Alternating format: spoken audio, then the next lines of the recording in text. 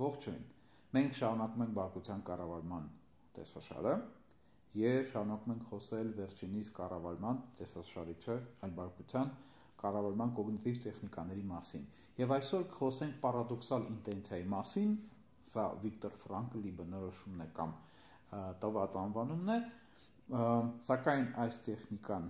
այլ անուններով իհարկե կարող է գտնել ուրիշ մասնագետների մոտ էլ, բայց ավելի շատ հայտնի է որպես պարադոքսալ ինտենցիա կամ Վիկտոր Ֆրանկլի պարադոքսալ ինտենցիա,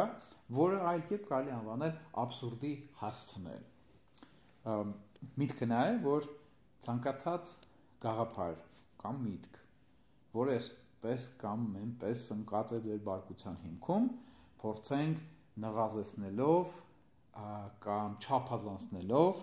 հասցնենք абսուրդի եւ զարգացնենք абսուրդ, абսուրդային սցենարով իրան, հա?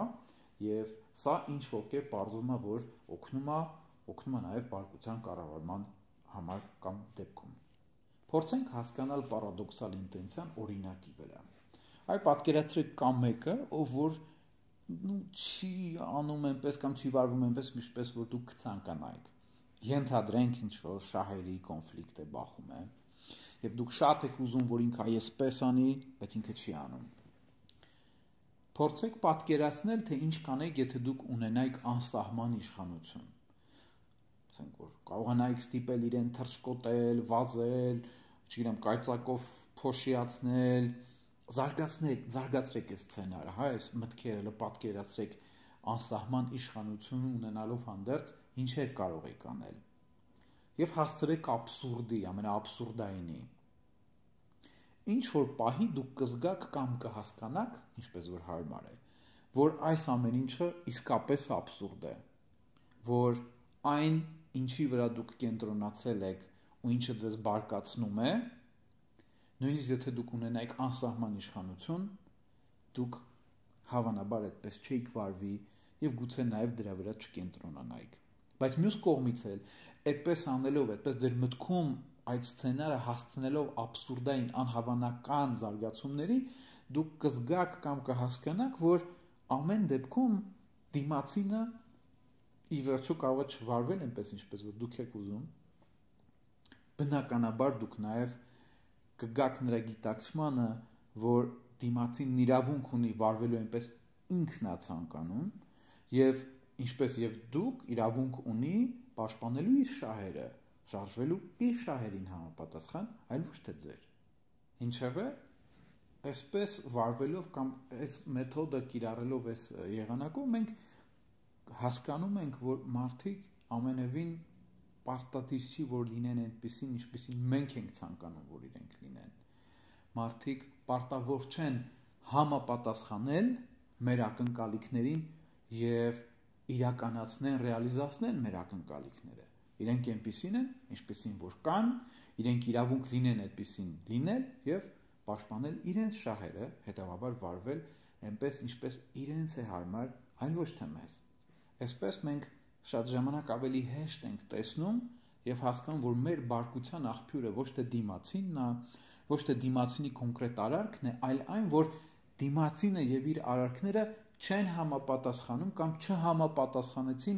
մեր ակնկալիքներին։ Այ մենք ունենք ինչ որ ակնկալիքներ, որը հա այս իրավիճակում այս մարդը լինի հարազատ ընկեր ծանոթ թե ոչ, այ պետքա վարվեր այսպես, այ ես դրանում համոզված էի կամ ես այդպես շատ ցանկանում էի, որ այդպես լինի,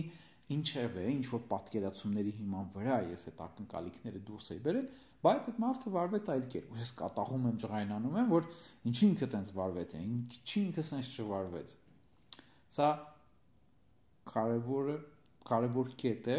որի հասկացմանը մենք կգանք այսպես թե այնպես կիրառելով այս տեխնիկան։ Պարադոքսալ ինտենցիան կիրառել կարող ենք նաև վարքային մակարդակում։ Ինչպես դրսևորելով պարադոքսալ վարք Այսինքն, երբ որ մեր պատկերացմամբ, հա, դիմացինը ինչ որ մի արարք է մեր նկատմամբ թույլ տալիս, որը մենք գնահատում ենք որպես բացասական, անազնիվ, չգիտեմ, ոչ ճիշտ մեր նկատմամբ, ոչ ընկերական եւ այլն,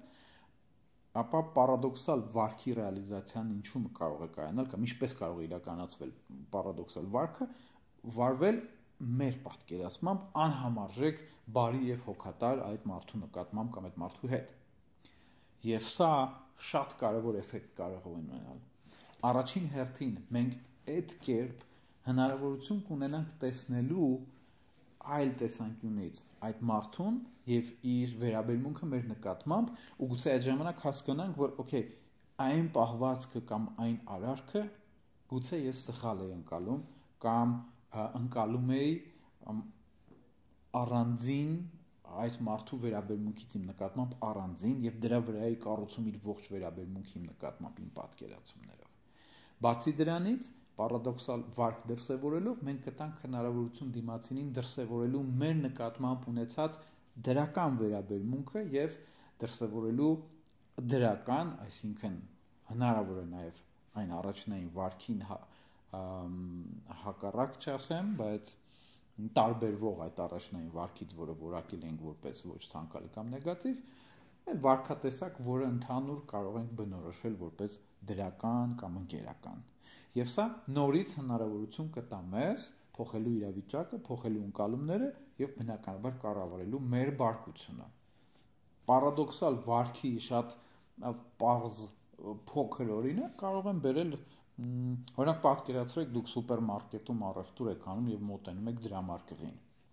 Մոտենում եք եւ այդպես հերթը եւ դուք հերվից տեսնում եք, որ դրամարկղի աշխատողը այդպես տենց հոնքերը կիտած, մի քիչ էլ ջղային դեմքով այդպես աշխատում է, ջղային դեմքով, գուցե դժկամությամբ պատասխանում է, ու ինչա լինում, սովորաբար մենք քան մարդկանց մեծ մասը կամ դրսևորումների մեծ մասը ռեակտիվ են, այսինքն մենք հակազդում ենք ավելի շատ կամ հակազդող էակներ ենք, մենք sense արդեն չհասած դրամարկը այդ մարդու հետ չշփվելով արդեն մենք էլ չէ հնարավոր այդպես խոժորենք մեր դեմքը, sense մտածենք մի հատ ինչ, sense ջղային դեմք ընդունենք կամ բառ օգտագործենք, որ ինքն էլ ոնց որ տենց հանկարծ իրան շատ բան թույլ չտա կամ շատ ժամանակ մենք դա կարող ենք ավտոմատ անել առանց գիտակցելու, որ այդպես ենք վարվում։ Բայց եթե մենք փորձենք դրան հակառակ մոտենալ եւ շատ սիրալիր ժպտալ, բարևել, շնորհակալություն հայտնել, ցտեսություն ասել, լավոր մաղթել, մենք կարող է տեսնենք լրիվ հակառակ պատկերը, թե ինչպես է դիմացինի դեմքը բացվում, ինքը ժպտում եւ դառնում սիրալիր։ Բնականաբար ես չեմ ուզում աբսոլյուտիզացնել այս ամենը, ես չեմ ասում որ դա միշտ աշխատելու է եւ որ անպայման դա աշխատելու է եւ բոլորի դեպքում աշխատելու է։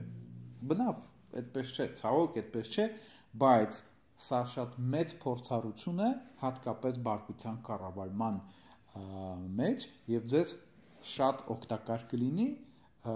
փորձել գոնե 1-2 անգամ սա ինքնուրույն անել, եթե չեք անում եւ սա շատ լավ օրինակ է հենց պարադոքսալ վարքի կիրառման, օրինակ անծանոթների հետ, ինչպես օրինակ օրինակում բերեցի սուպերմարկետի դրամարկղի աշխատողի հետ։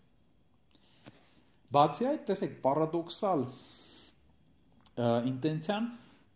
շատ օգտակար է նաև մեր համառությունը վերափոխելու կամ հաղթարելու համար։ Համառությունը, որը հնարավոր է ձևավորված լինի մանկական նեգատիվիզմից շատ վաղ տարիքում։ Այդ գիտեք խոսքը ինչի մասին է, որ մենք փոքր տարիքում հակառակվում ենք մեր ծնողներին, որտեղ կարևորը հակառակվել նաև ցույց տալն է, որ այ մենք առանձին տենց ինքնուրույն ենք եւ մենք մեր կամքն ունենք, որը կարող ենք ռեալիզացնել, անկախ նրանից, որ ասենք մեր ծնողների պահանջածը կամ խնդրածը հենց մեր շահերից է բխում, ասենք, չգիտեմ, ժամանակին սնվել, ժամանակին լվացվել, ատամներ լվանալ, քնել կամ արթնանալ, վաղ առավոտյան որ պատրաստվել դպրոց գնալ եւ այլն, հա, եւ տարօրինակ է, բայց այդ վաղ տարիքում ձևավորված այդ մանկական նեգատիվիզմից բխող, հա, մեր համառությունը կարող ենք նաև դրսևորել հասուն տարիքում առանց հասկանալու զուտ հակառակվելով մարդկանց վարքին կամ խոսքին կամ ցանկություններին, որն էլ եւ իր հերթին կարող է նորից բարկության առիթ հանդիսանալ։ Սա այն դեպքն է, որ հումորով այդպես ասում են, որ նազլո կանդուկտորը կուպլու բիլետ նույնի սյադով պոիստ, այսինքն ոնց որ մեքենավարին ինադու կգնեմ տոմսը, բայց չեմ նստի գնացք այդ մոտարպես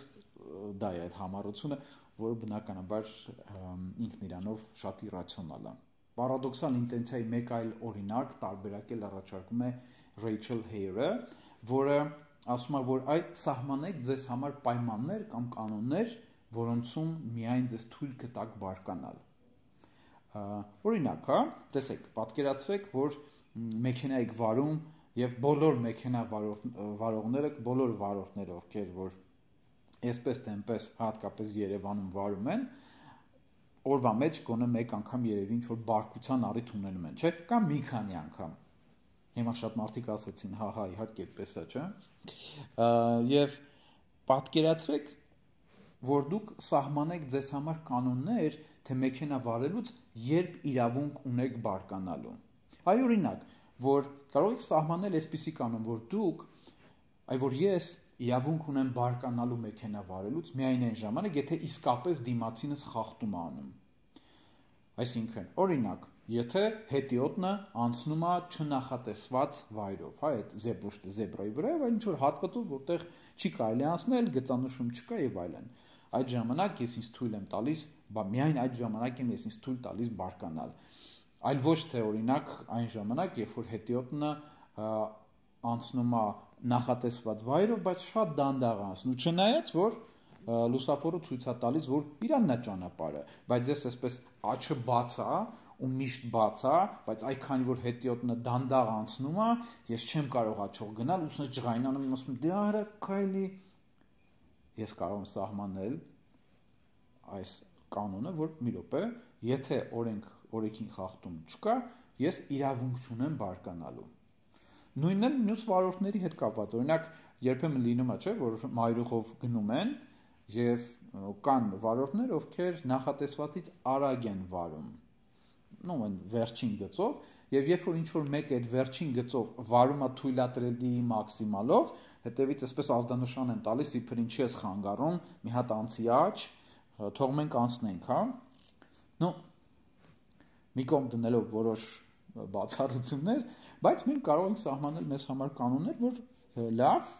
բայց մենք բարկանալու իրավունք չունենք որտեղ այս մարդը քշում է մաքսիմալ թույլատրելի արագությամբ